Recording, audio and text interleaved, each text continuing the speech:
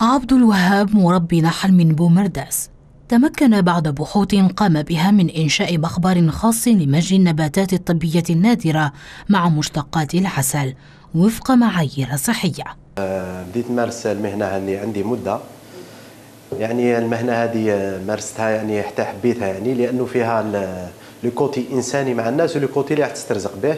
بعدها يعني بعد ما شفنا إقبال الناس على على هذه المنتوجات يعني الطبيعية من عسل ومن أعشاب ثمينة يعني طبيعية آه، مشينا إنه نفتحوا مخبر آه، يضم آه، يعني المنتوجات النحلة اللي هي العسل وحبوب الطلع وغذاء الملكة والبروبوليس ندمجها مع الأعشاب الطبيعية ثمينه مثل الجانسينغ مثل طلع النخيل مثل الماكا. يجلب عبد الوهاب النباتات الطبية من الخارج ثم يعيد طحنها في آلات خاصة بالمخبر قبل مزجها بمشتقات العسل لتستعمل في مسارات علاجية متعددة. هي منتوجات طبيعية 100% ما شاء الله.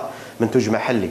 أما من ناحية الأعشاب الثمينه اللي نستعملوها نستعملوها خام نستوردوها من من من يعني من الخارج.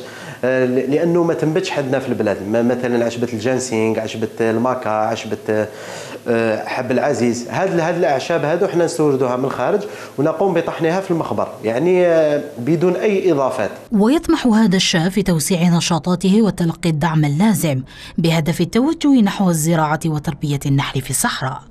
لأنه الأونة الأخيرة مع نقص الأمطار الموسمية والمناخ يعني يتحول وتبدل موش كما كان زمان نقصت لا برودكسيون وزادوا النحالين لذلك يعني ماذا بينا إحنا كان النحال يولي هو اللي يمشي للمناطق الصحراوية يغرس النبات ويخدم عليها العسل. تطوير شعبة العسل ومشتقاته من أولويات الحكومة التي تستهدف تعزيز الإنتاج المحلي وتدعيم الشباب الحرفي.